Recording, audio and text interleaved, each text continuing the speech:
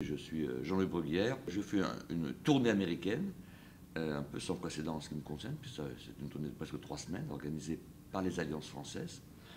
Et donc, euh, là, j'ai été reçu ici par le lycée français de, Los Angeles. Donc, j'ai fait la côte Est, j'ai fait la Boston, j'ai fait aussi l'Alabama, le, Deep South.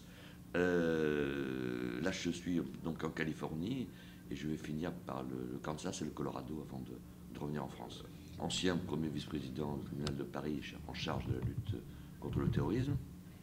Actuellement, je, représente les États-Unis, l'Union européenne auprès des États-Unis dans le cadre du très controversé, euh, en Europe en tout cas, euh, euh, programme TFTP, Terrorism Finance Working Programme.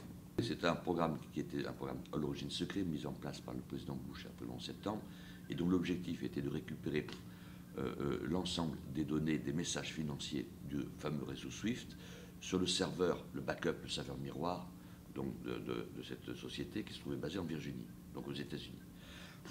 Donc euh, l'objectif de ce système était de récupérer donc, dans cette base de données importante et dans les messages, donc certains d'origine européenne, des informations financières qui étaient utiles pour la lutte contre le terrorisme. lorsque ce programme a été dévoilé en 2006 par une fuite dans la presse américaine, il y a eu, ça a entraîné un certain nombre de scandales et de réactions très négatives en Europe, avec des fortes suspicions, d'abord sur l'utilisation de ces données personnelles d'origine européenne dans un système très opaque, puisque c'était classifié, et avec même une suspicion d'un programme secret donc d'espionnage économique.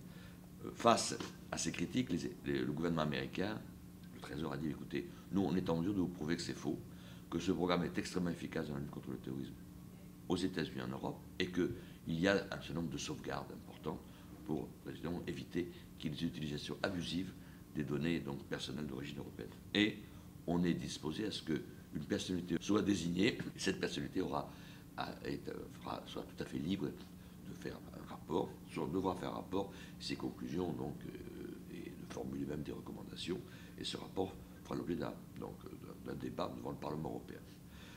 Euh, désigné en 2008, j'en suis dans la phase du deuxième rapport, et je peux vous assurer que ce programme donc, n'enfreint en rien, n'est en rien dangereux pour les libertés.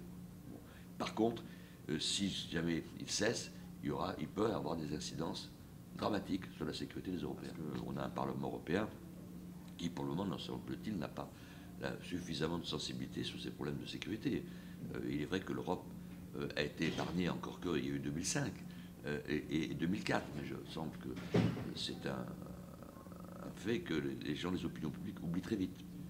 Je crois qu'on est à un très bon niveau au niveau des États membres. Du reste, de la, sécurité et de la responsabilité des États membres et non pas de l'Union européenne. Mais il est certain que euh, ce vote du Parlement européen est un très mauvais signe. Un très mauvais signe dans le cas de la lutte contre le terrorisme, un très mauvais signe dans le partenariat nouveau euh, que voulait instaurer l'administration Obama avec l'Europe dans le cadre de ce domaine en particulier. Je pense que le système est adéquat parce que s'il n'y a pas eu d'attentat, ce n'est pas non plus l'effet du hasard, même si on a eu un peu de chance. Donc on a été en, capacité effectivement d'anticiper et de déjouer pas mal d'attentats, de, protéger notre pays. Euh, mais il faut être très vigilant parce que la menace, je crois, est encore plus forte qu'elle n'était, en tout cas elle est égale, euh, notamment avec euh, le problème du Sahel et, de l'ACMI. Donc on est et certaines opérations qui ont été faites encore récemment démontrent que euh, ces groupes ont une volonté de nous attaquer. C'est pour ça que je regrette, moi, personnellement, euh, la position du Parlement européen sur un outil qui était un outil efficace, donc pour profiter l'Europe, et qui donnait suffisamment de garanties. Je crois qu'il faut savoir mettre le curseur où il faut entre protection des libertés individuelles, qui est vraiment une exigence importante. Et je pense, je comprends qu'on soit très préoccupé sur ce point, et puis en même temps assurer la sécurité collective.